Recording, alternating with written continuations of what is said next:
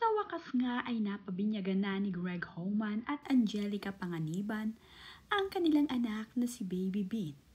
Dumalo naman sa binyag ni Baby Bean ang kanyang mga lolas at mga kaanak ni Greg Homan at Angelica Panganiban.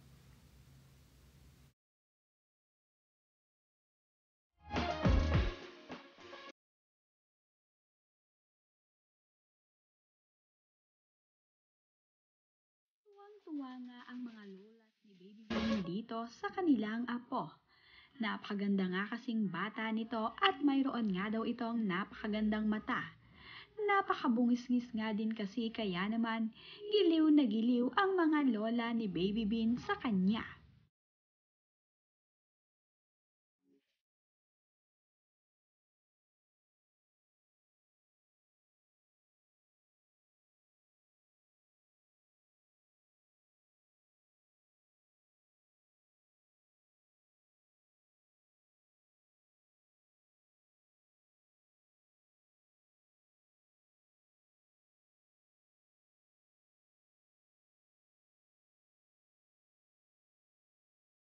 Ilang nga din sa mga dumalo ay ang mga BFF at kamag-anak ni Angelica Panganiban. Isa din sa mga naging ninang at ninong ay itong sina Ketchup Eusebio, Bella Padilla, John Prats kasama ang kanyang asawa na si Isabel Oli. Isa rin sa mga naging bisita ni Angelica Panganiban ay itong si Charis Tinio. Nandito nga rin itong si Ann Curtis kasama ang kanyang anak na si Dahlia.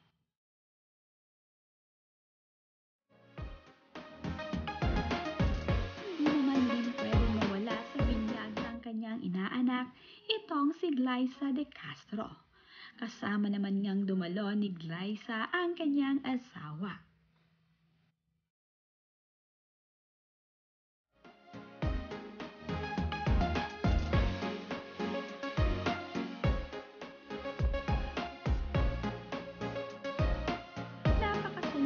Magkakaibigan nang magkita-kita sila dito sa binyag ni Baby Bean.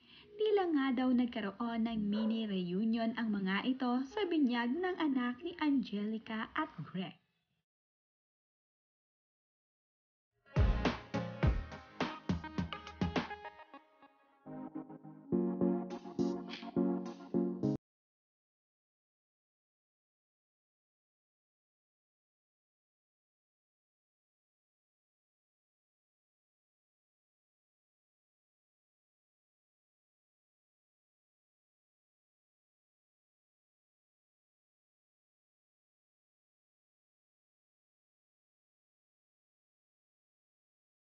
Napakarami naman ngang mga ninong at ninang ni Baby Bean.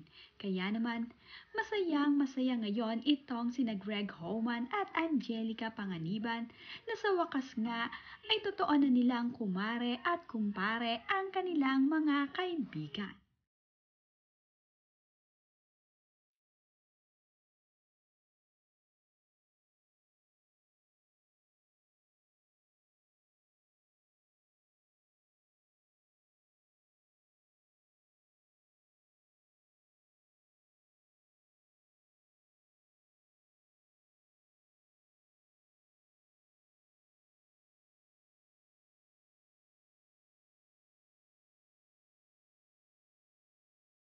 Napaka-memorable nga din ang naging binyag ni Baby Bean.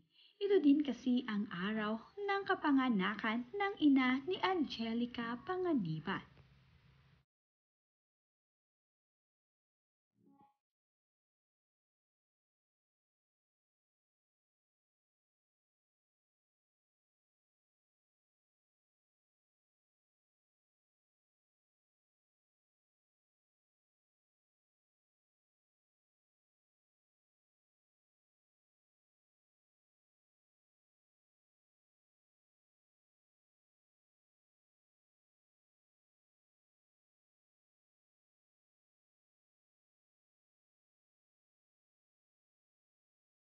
Tila naman nga hindi umiyak itong si Baby Bean sa araw ng kanyang binyag. Palagi ngang nakasubo ang hinlalaki nito sa kanyang bibig. Kaya naman, napakabait na bata ni Baby Bean. Ayon nga sa kasabihan na kapag daw nagsusubo ng mga daliri ang bata, ay mabait nga daw na bata ito.